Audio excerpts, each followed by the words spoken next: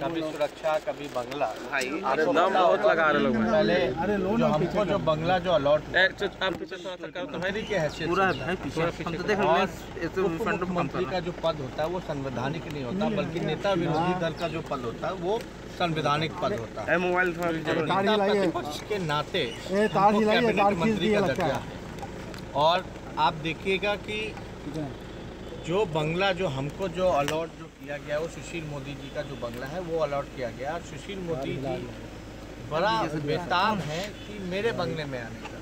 हालाँकि हमने बात की थी प्रधान सचिव से तो उन्होंने बोला कि बार बार सुशील मोदी तंग कर रहे हैं कि हमको जल्द से जल्द हमको जो है पाँच नंबर में हमको शिफ्ट कराया आप बताइए कि जो हमको जो अलॉटमेंट ये घर कभी खाली तो हुआ नहीं तो किस नाते ये जो है। उप मुख्यमंत्री के नाम पर ये अलॉट किया गया कर्णांकित किया गया। और ये तो मंत्री के हैसियत से कोई उप मुख्यमंत्री पद का भी तो जो होता है मंत्री का रहता है। लेकिन ये जो स्तर जो है राजनीति का ये दिन पर दिन गिरता जा रहा है। आप देखिएगा कि इनको कौन सी तकलीफ़ आ रही है? पूर्व में भी जो भी उप मुख्यमंत्री रहे सुशील मोदी जब नेता प्रतिपक्ष बने तो भी उसी बंगले में रहे। और आठ सालों तक तो वो उसी बंगले में रहे जब 2005 से लेकर 12 तक तब तो उनको कोई तकलीफ़ नहीं हो रहा था काम को लेकर के। प्रधान सचिव का कहना कि एक ही कैटेगरी है दोनों। तो एक ही कैटेगरी है तो इसमें क्यों आना चाह रहे हैं? ये तो कहीं ना कहीं से जान मूझ करके तंग करने की जो राजनीति हो रही है और काम काज में दिक्कत आए हम लोगों को उस वजह से ये काम किया जा रहा है। लेकिन ये बलपूर्वक हो या इसमें ये लिखा कि हमने अवैध कब्जा कर रखा है। अब आप बताइए कि हमारे नाम से बंगला लॉट है कभी खाली नहीं हुआ तो अवैध कैसे है? हम नेता प्रतिपक्ष हम कहाँ जाएँगे? हमको तो जो संविधान में या जो हमारे पद को देखते हुए ये बंगला अलॉट किया गया है कोई गैर कानूनी तो नहीं है?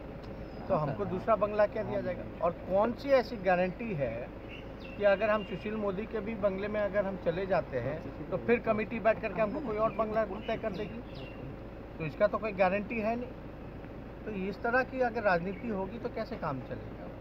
तो इसलिए ये जो सरकार को जितने हमने चिट्ठियाँ लिखी, एक सवाल का जवाब हमको उपलब्ध नहीं किया गया। और हमको तो सरकार नेता प्रतिपक्ष मानती ही नहीं है।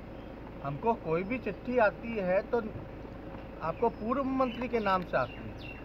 और आपको पता होगा जो कोर्ट का ये हवाला दे रहे हैं, उस कोर्ट के हम तो पार्टी थे ही नहीं।